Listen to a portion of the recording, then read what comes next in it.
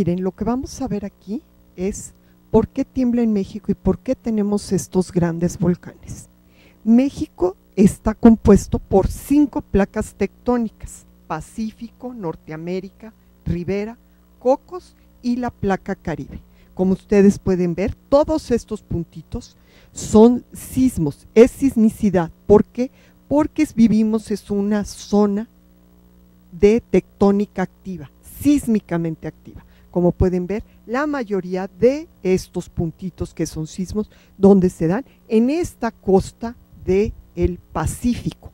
Pero observando los grandes sismos del siglo XX, nosotros lo que podemos ver ¿sí? es que también están aquí concentrados en lo que es la placa, en la frontera entre la placa de Cocos y nuestra placa norteamericana, pero también tenemos los llamados sismos intraplaca. Este sismo intraplaca, ¿sí? que fue aquí, cerca de aquí, fue el sismo que ocurrió el 19 de septiembre de 2017.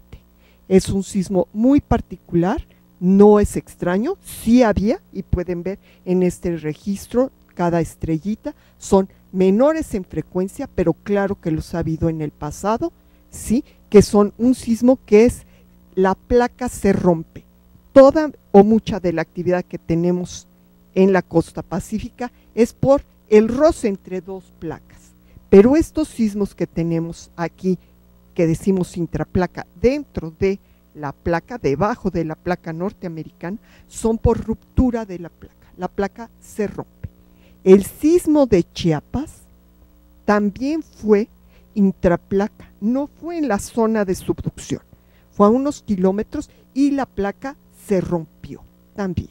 Por eso son sismos que decimos intraplacas, pero no es por esto que sean únicos o extraños, suceden. ¿Por qué suceden? Porque tenemos una zona completamente activa. Pero esto también nos ocasiona otro tipo de fenómeno natural. ¿Qué fenómeno natural es este? El de los volcanes. En nuestra parte central, paralelo al paralelo 19, tenemos unas grandes estructuras volcánicas, ¿sí? Aquí en la Ciudad de México decimos el Popo, el Isla, más cercanos también está el Nevado de Toluca, ¿sí? En la costa pacífica está el Nevado de Colima, ¿sí?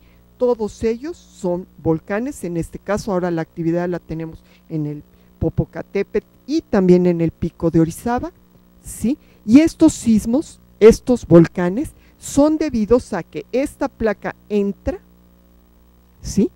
Y se va plegando primero y luego continúa mucho tiempo horizontal hasta que llega a una profundidad en la cual se funde esta placa y sale un volcán. Esto es un proceso normal en las zonas de actividad tectónica de subducción.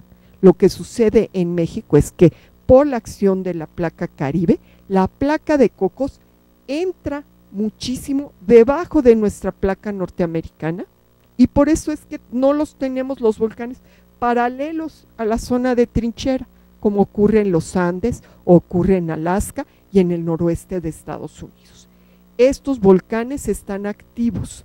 La actividad que tuvo el Popocatépetl después del sismo del 19 de septiembre no era relacionada propiamente al sismo. ¿sí? El volcán está activo y tuvo exhalaciones que había tenido previas al sismo. O sea, su actividad se había visto incrementada, pero esto no tiene ninguna relación con la sismicidad. ¿Sí? Como podemos ver, en México hemos tenido grandes sismos en toda nuestra costa pacífica. ¿sí? Y sí tenemos detectada una zona frente a Guerrero donde hace mucho tiempo que no ha temblado. No tenemos ningún registro desde hace 100 años que en esa zona se haya presentado un sismo. Por lo tanto, uno de los panoramas que tenemos o de las hipótesis que tenemos es que la placa está atorada y sí, probablemente cuando esta placa se libere, tendremos un gran sismo. Pero, ¿qué sucede? sabemos que ocurren sismos, sabemos dónde ocurre, ¿sí? Pero no sabemos cuándo va a ocurrir el próximo. Por tanto, ¿sí? Tenemos que estar alertas, tenemos que tener construcciones sismo resistentes, tenemos que trabajar en lugares que cumplan esas condiciones, escuelas, toda nuestra habitabilidad tiene que ser en lugares sismo resistentes. ¿Sí? Para eso se hacen todos estos estudios y nosotros damos información, todos los sismólogos dan información y los estudiosos de ciencias de la Tierra a los ingenieros que construyen para que ellos elaboren normas para tener construcciones sismo resistentes. Esto es muy importante, pero tú también como ciudadano, ¿sí? Tienes que ir a los lugares, a un cine, a una plaza y siempre verificar tus rutas de evacuación, los puntos de encuentro, los lugares seguros. Tienes también que tener con tus padres un plan de emergencia. ¿Sí? ¿Qué implica esto? ¿Dónde encontrarse si el sismo ocurrió fuera de tu casa? Tienen que tener y no pueden volver a lo mejor a su casa. Tienen que poner un punto de encuentro en un parque, en un lugar cercano, en la casa de alguien más que consideren que está mejor protegida para sismos. Sí tenemos que hacer esos planes. ¿sí? Los fenómenos naturales van a seguirse dando estas placas, podemos ver, pues la placa de cocos va 6, entre 6 y 7 centímetros por año subduciéndose. Cuando se atora en algunos pedazos, después tiene esta liberación en forma de un sismo. Los sismos son en tres direcciones. No hay sismos trepidatorios y oscilatorios. Los sismos se dan en las tres direcciones. Una cosa es lo que nosotros percibimos, pero los sismos son ondas esféricas que van en tres direcciones. Y entonces no es que uno sea trepidatorio y otro oscilatorio. Otra cosa que quiero aclararte es que la magnitud se da en la zona donde ocurrió el sismo, particularmente. Ahí es donde se mide esta liberación de energía y no es escala Richter. ¿Sí? El sismológico está dando escala de momento sísmico. ¿Sí? Y es una medida de la energía que se libera en el punto donde ocurrió. Sus efectos en la Ciudad de México se pueden medir en intensidad. La intensidad es diferencial y es diferente en las diferentes regiones de la Ciudad de México. ¿Por qué? Porque esto lo que está midiendo es la aceleración del terreno. ¿Sí? Entonces, sí podemos decir, sí, en este sismo de el 19 de septiembre, tuvimos aceleraciones hasta del doble de las que tuvimos en el sismo previo de Chiapas. ¿Por qué? Porque el sismo de Chiapas fue de mayor magnitud, pero estaba a 700 kilómetros el sismo del 19 estaba a 100 kilómetros de la Ciudad de México. Las ondas sísmicas no se atenuaron lo suficiente y por eso es que tenemos esas grandes aceleraciones. ¿Sí? Entonces, ¿qué va a pasar en México? Si me preguntases, ¿va a seguir temblando?